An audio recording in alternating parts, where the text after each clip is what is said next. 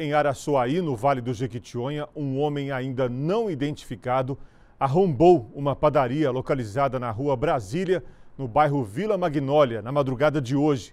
O crime ocorreu por volta das 3 horas e 40 minutos da manhã. Com uma camisa enrolada na cabeça para encobrir o rosto, ele conseguiu abrir a porta de vidro, possivelmente usando uma chave micha, que é uma ferramenta utilizada para arrombar fechaduras. A ação durou pouco mais de um minuto. Em seguida, ele entra no estabelecimento e vai direto ao caixa, onde mexe em vários papéis e furta cerca de 30 reais em moedas. Depois ele teve, ele tentou arrancar uma TV de LED que estava instalada em uma das paredes do estabelecimento.